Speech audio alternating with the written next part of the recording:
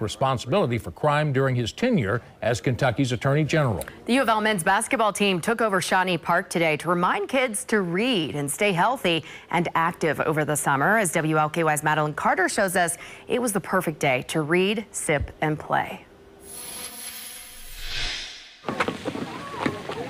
I dribble every day. Watch out, Louisville. You could be looking at the next LeBron James. I'm the bestest basketball player in the world. Tristan Holt has had his head in the game all summer. And I play a lot at my house. And I go outside and play it. And I, I'm good. And on Tuesday, the six year old superstar had the chance to meet his heroes, the Louisville Cardinals.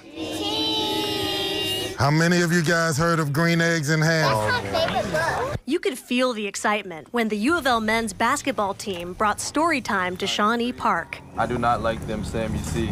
Head coach Kenny Payne says reading to kids gives the team a chance to inspire the next generation. To know that one day we were just like them and these guys were just like them. Young kids with big dreams.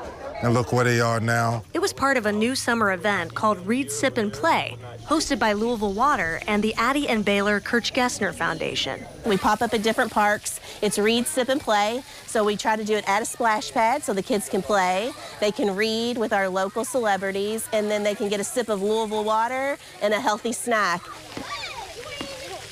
And after all this playing, what better way to cool off on a hot summer day than this? Every kid went home with a free book, including Tristan, who says the cards inspired him to read and stay active over the summer. I want it to come. It's fun over here. Madeline Carter, WLKY News. Not sure who had more fun, the players or the kids. Well, the kids will have another chance to take part in the Read, Sip, and Play program next month. The last event of the summer will be at Cherokee Park on Saturday.